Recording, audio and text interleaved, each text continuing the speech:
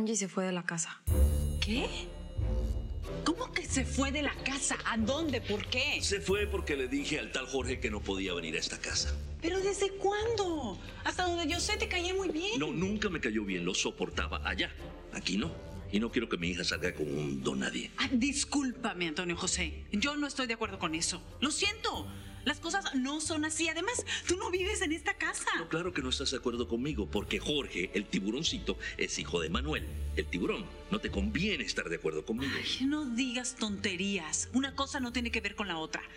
Además, es un tema de nosotros. Aquí está María José, ubícate. Entonces que María José vaya a su recámara. Por favor. Sí, yo no tengo nada que hacer aquí. Bye. Después subo a darte un besito.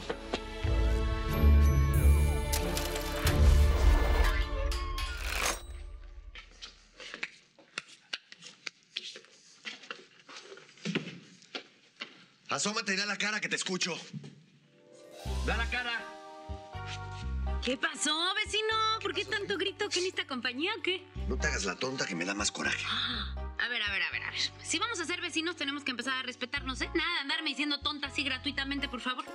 ¿Por qué diablos te sacaste una foto conmigo, Estela? ¿Qué foto? ¿Qué ¿La, hablas? qué- qué? La foto que me tomaste ahí acostado contigo. Ah, se dice selfie, ¿eh? Tus cosas. Deberías estar bien agradecido que una mujer joven y guapa como yo se fije en ti. ¿Hasta cuándo me vas a acosar? ¿Hasta cuándo? Hasta que te recupere. ¿Eh? ¿Qué te crees, Antonio José?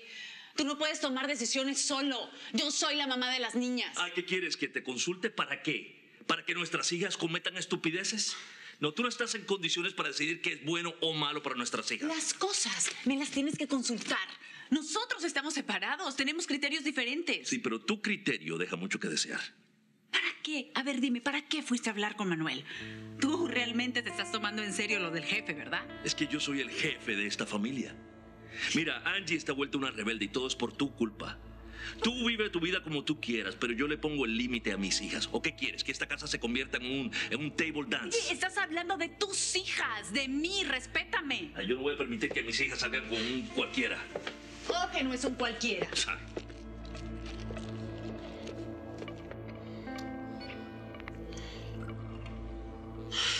Ay, Angie no me contesta. Ah, me dijo que se iba a quedar a la casa de él. ¿Qué te parece? Una niña que no ha terminado la escuela se va a vivir a la casa del novio. No, pero eso es muy normal, ¿no? Yo no voy a permitir que por el coraje que tienes conmigo te desquites con las niñas y las hagas sufrir. Eso sí que no. Angie va a volver a esta casa y va a tener una relación con quien quiera. Y yo no te voy a permitir que me pases por encima a mi rol de padre. Una cosa es que no quieras ser mi mujer y otra es que no me permitas educar a mis hijas como yo quiero. Híjole, es que tú no entiendes ni aunque te hagan dibujitos, ni con mapitas, ni con manzanas. ¿Entiendes, Estela? Yo soy una experta en manzanas. O sea, tengo árboles de manzanas, plantíos de manzanas. Tengo una maestría en manzanas. Entonces, ¿por qué me sigues persiguiendo? Porque lo estoy haciendo por ti, mi mano. ¿Por mí? Sí, en Sí, serio. sí. O sea, para que recapacites, para que abras los ojos, para que te des cuenta que la estás regando. Ya, ya, ya, ya, no seas ridícula. No, no soy ridícula, ¿eh? Tú eres el ridículo. Yo, en cambio, ya tengo todo bien claro. O sea, ya entendí que esto es una guerra. ¿Cuál guerra? O sea, es- una guerra, pero en, en tu cabeza, en tus neuronas. Avísale que paren, no, porque se están matando entre ellas. No, es una guerra como la de los países. O sea, cuando pelean por su pedacito de tierra, yo estoy peleando por mi pedacito de hombre, que eres tú. Escúchate, escúchate, Estela, en serio. Mira, mira lo que logras tú. Tú, tú dimensionas lo que logras con tus idioteces. ¿Eh? Quiero que llames ahora mismo a la señora Chivis y le expliques lo que pasó. Quiero que le digas la verdad. Vas a hablar con la señora Chivis y le vas a decir la verdad de lo que pasó. ¿Por qué me tratas como si fuera una escuincla ahí castigándome? Porque actúas como escuincla. Shh, Debería castigarte. Ábrale, ¿eh? Ándale, ¿qué quiere? ¿Unas esposas? Ay, ¿Un látigo? Aprovechas todas las oportunidades para inventar cosas. Ya, no seas pesada. Ah, no, no, el pesado eres tú. Que me estás haciendo hablarle a esa vieja que tú sabes que me cae re mal. Es que las embarradas que te mandas tienes que saber asumirlas y arreglarlas, Estela. Está bien. ¿Qué más quiere el señor, el jefe, que sus plebeyos hagan para que él sea feliz? Si no le dices la verdad a la señora Chivis, te prometo que hasta aquí llega la buena onda. En serio. ¿Cómo te gustan las amenazas, eh? No, no te estoy amenazando, te estoy hablando en serio. Yo he tratado de no ser mala onda contigo, pero ya se me colmó la paciencia. Está bueno. O sea, le voy a hablar solo para que veas que yo soy súper decente y súper buena onda, ¿eh? Pero márcale tú, porque yo no me sé el teléfono a la tonteza. Va. Oye, bien ubicadita, ¿sí? Cuidado con decirle tonterías a la señora Chivis, mucho menos cosas que no son. Mm.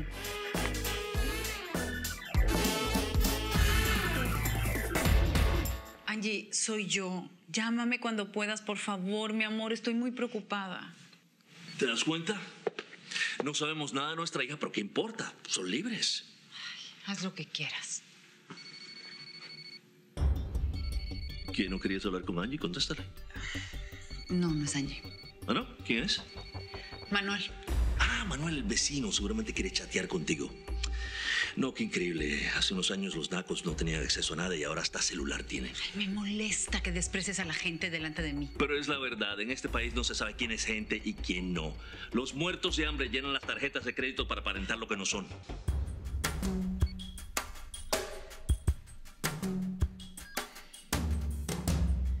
¿Que estás enojada con el vecino? ¿Es un nuevo coqueteo el estar cortándole?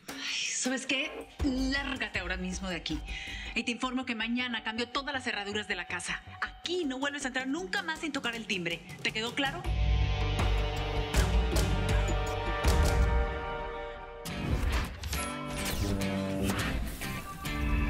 Ay, qué bonito es ver el sol salir de nuevo.